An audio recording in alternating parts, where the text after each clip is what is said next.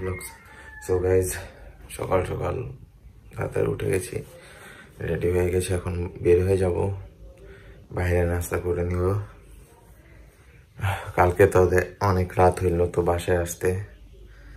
এসে টায়ার্ড হয়ে কোনো মতো জাস্ট ভিডিওটা এডিটিং করে শুয়ে পড়ছিলাম। জাস্ট আপলোড দিয়ে আমি শেষ ঘুম সো এখন গাইজ আমি বের হয়ে যাব অফিসের জন্য। বের হয়ে আপনার সাথে দেখা হচ্ছে, কারণ আজকে বাসে যেতে হবে। আর বাসে যেতে আমার ভালো লাগে না আপনার। সো গাইজ পরে দেখা হচ্ছে। সো গাইজ অফিসের জন্য বের হয়ে গেলাম। এখন বাস আই হেড বাস। তো গাইজ কিছু করার নেই, বাসেই যেতে হবে। তো বাসে উঠে আপনার সাথে হয়তো হবে নাহলে লাগবে ডাইরেক্ট অফিসে সো বাসে উঠে গেলাম, এখন চলে যাব বনানি। এই বাস জার্নিটা আসলে আমার কাছে খুব বাজে লাগে। সো গাইজ অফিসে গিয়ে আপনার সাথে দেখা হবে। সো গাইজ অফিসে চলে আসলাম। এসে একটা সাপ্লায়ারকে টেস্টের জন্য কিছু ফেব্রিক পাঠিয়ে দিলাম।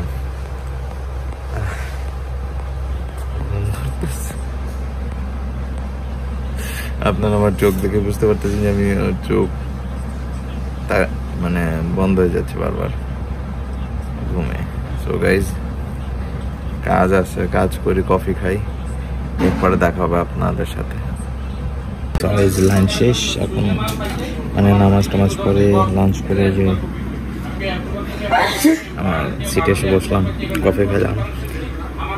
এখন মেলতে নিচে করব, কাজ করব, পরে আবার বের হয়ে যাব। সবাই আছে। এখানে একজন একটু আচ্ছা গাইজ পরে আপনার সাথে সো গাইজ বের হয়ে গেলাম এখন। একটু বাইং হাউসে যাব কাজে। সো পরে দেখা হচ্ছে। সো গাইজ বাসে চলে আসলাম। দুটি ফ্রেশ হই। প্রচুর টায়ার লাগতেছে। খিদাও লাগছে। কিছু খেয়ে নেই। পর আপনার সাথে দেখা হবে। কয়টা কার্ড উঠেছে আজকে? ওয়ার্ল্ড রেকর্ড আগেও আছে ছয়টা। ও গর্বের সহিত বলতেছে। ছয়টা না ছয়টা আর কুড়ি আঠারোটা। আগে ছয়টা আর আঠারো। চব্বিশটা। দাও। বেশি না। এক গেমে চব্বিশটা কার্ড বাহ কংগ্রেচুলেশনস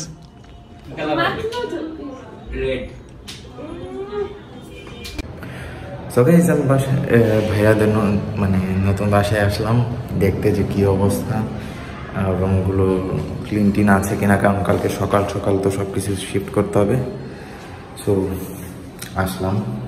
এখন দেখা যাক, ভাইয়া আসলে এটা হচ্ছে ভাইয়াদের ফ্লোর ভালোই। বাট ওই ভাষাটায় মানে আমিও যতদিনই আছি, আ- ভাইয়া ছিল এখন কেমন জানি লাগছে। সিরিয়াসলি সো এখন ওই যে ভাইয়া বাড়ি, ফ্ল্যাটের মালিকের সাথে কথা বলতে গেছে। ভাইয়া আসলে দেন হচ্ছে আমরা বাসায় যাব। এই বাসায় আগে ঢুকবো, দেখব কী অবস্থা। তারপর চলে যাব বাসায়। তো গাইস সাথে থাকবেন। একটু পর আপনাদেরকে না গ্র্যান্ড ট্যুর কালকেই করাবো। যখন আমরা বাসায় শিফট করে নিয়ে আসব, তখন।